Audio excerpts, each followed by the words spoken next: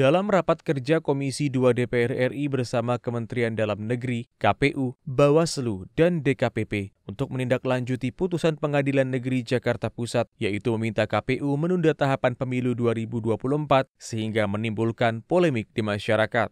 Laporan tersebut dilatar belakangi Partai Prima yang merasa dirugikan dalam tahapan pendaftaran dan verifikasi partai politik calon peserta pemilu 2024. Anggota Komisi 2 DPR RI, Agung Widiantoro mempertanyakan sikap KPU dan Bawaslu terkait dasar hukum gugatan.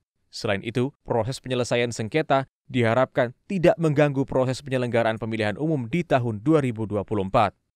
Masyarakat ini sudah di luar bertanya-tanya, peserta partai politik pun juga bertanya-tanya. Masing-masing pada prinsip pendiriannya tanpa ada kejelasan arah. Kalau perlu eh, dari aspek penggunaan anggaran dan penyelesaian sengketa ini ataupun proses tahapan secara administrasi sudah terserap, tetapi ternyata faktanya adalah tidak sesuai dengan uh, asas anggaran berkinerja, kalau perlu juga dilakukan pemeriksaan Barangkali ini ada temuan-temuan, jangan-jangan penggunaan anggaran penanganan perkara selesai tetapi masih menimbulkan permasalahan-persalahan.